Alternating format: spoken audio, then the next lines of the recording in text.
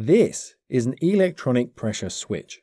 We use them in controls engineering to automate systems, and I'm going to show you how they work in this video, which is sponsored by Danfoss Climate Solutions. You can now improve safety and reduce maintenance costs with Danfoss's electronic pressure switches. They offer a multitude of advantages in comparison to a mechanical pressure switch. Check out the link in the video description to learn more and see the specifications for the entire range. Do check that out, I'll leave a link down below for you. A pressure switch typically has a symbol like one of these, but the pressure switch looks something like this.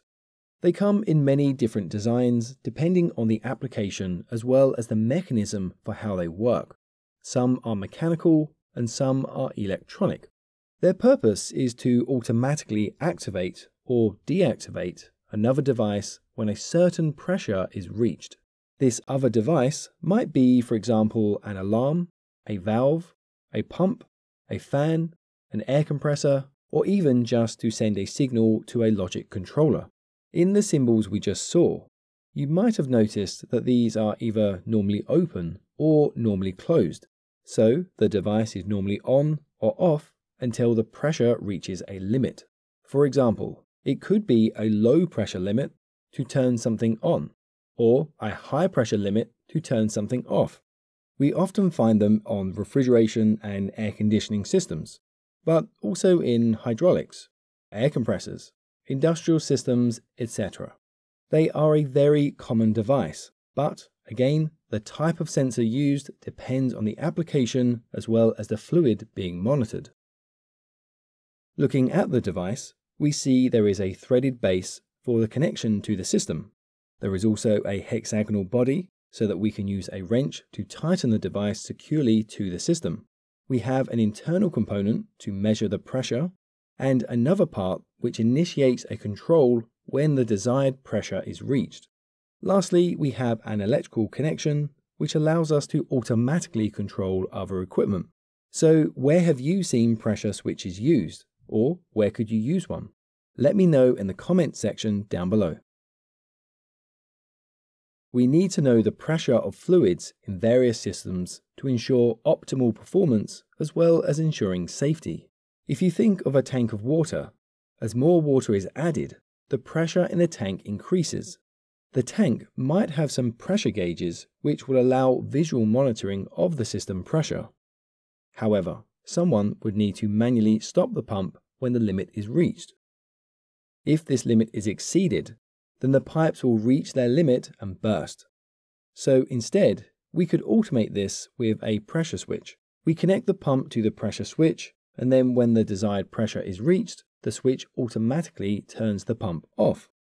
If we think of a simple compressed air system, when the tool is used, air is suddenly leaving the system, so the pressure decreases, and when the compressor starts, the pressure is suddenly increasing.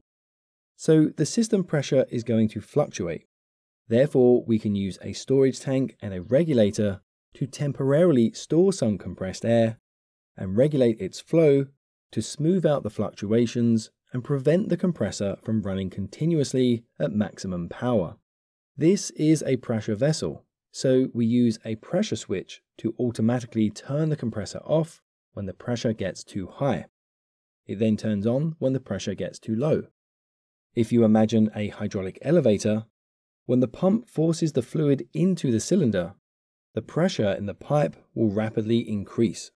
The heavier the load, the higher the pressure.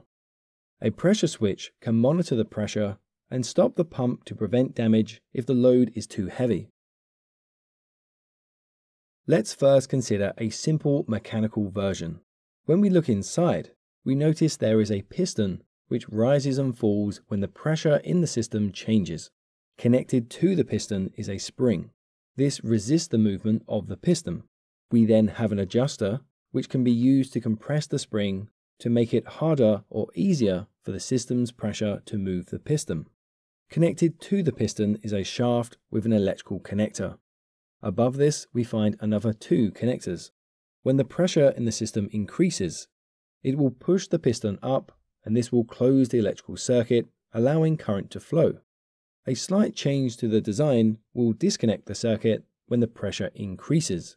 So we have a basic, normally open and normally closed mechanical pressure switch. Instead of a piston, we could use a diaphragm, which is just a flexible material. And so when the pressure increases and decreases, it will move the arm of the switch to let us control other devices. The problem with these devices is that they are mechanical and so they have moving parts. Moving parts break down over time, so increasingly, we find solid state electronic pressure switches being used which have no moving parts.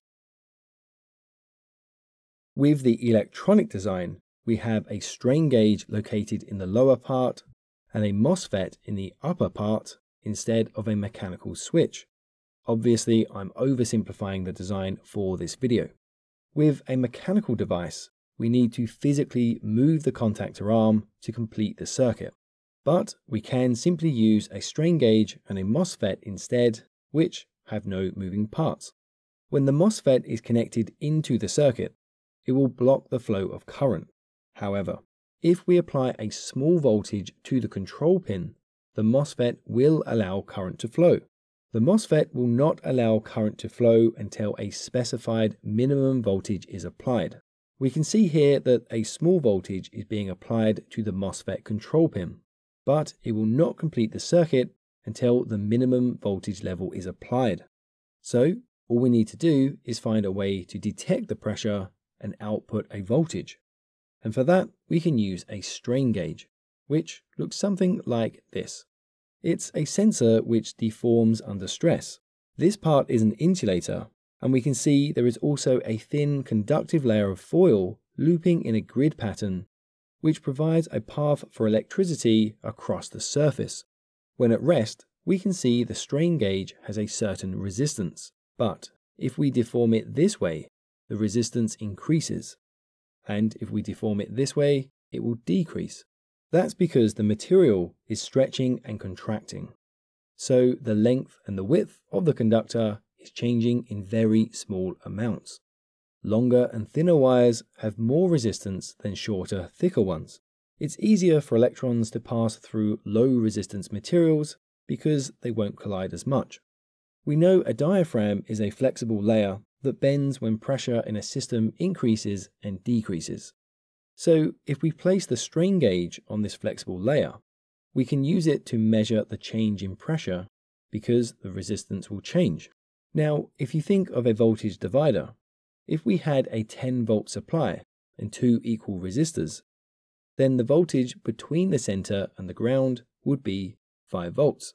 If the top resistor increases in resistance, then the voltage at the center will reduce. We can also connect four resistors to form a Wheatstone bridge. If they are all the same resistance, we would read 5 volts from the center of each resistor to the ground. However, if we measured between the two centers, we would read 0 volts. And that's because the voltage is the same. We can only measure the difference in voltage between two different points.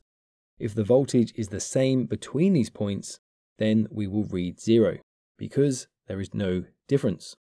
If we were to replace one of these resistors with a strain gauge, then when the strain gauge deforms, the resistance changes so we can now measure a small difference between the resistors because one side remains constant while the other side varies.